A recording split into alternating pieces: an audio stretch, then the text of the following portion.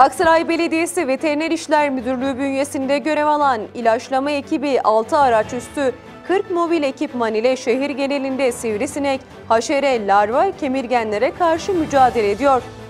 İnsan ve çevre sağlığını tehdit eden haşerelerle özellikle larva döneminde savaşarak zararlı canlıların üremesinin önüne geçen Aksaray Belediyesi ekipleri şehrin dört bir yanında sürdürülen çalışmaları büyük bir titizlikle yerine getiriyor.